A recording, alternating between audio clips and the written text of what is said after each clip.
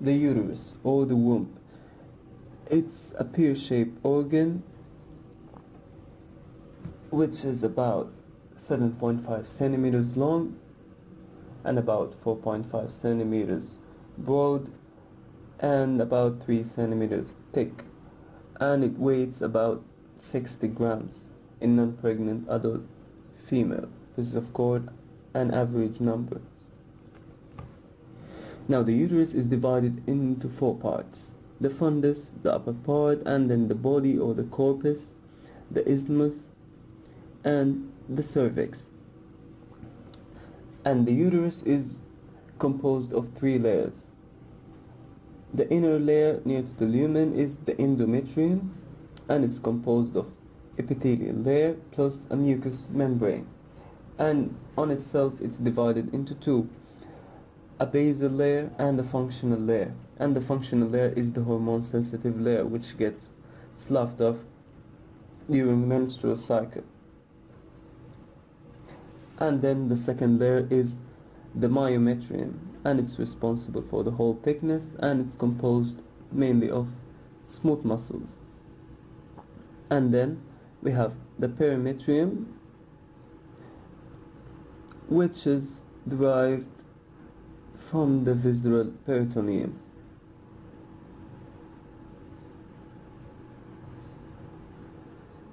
And now, the situation of the uterus. The uterus is situated anteriorly to the rectum and posteriorly to the bladder.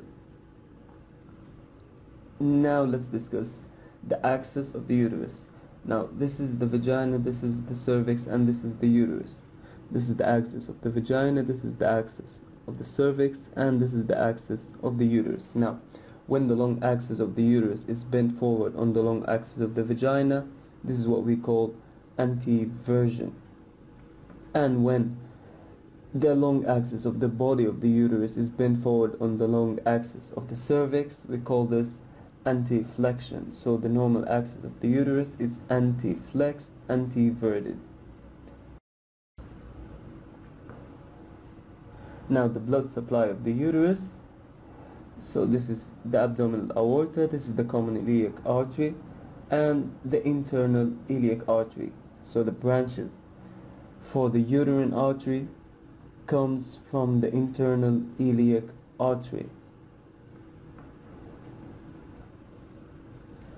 And also there is the direct branches from the abdominal aorta which goes to the ovaries, which is the ovarian arteries which makes anastomosis with the uterine arteries and also supplies the uterus.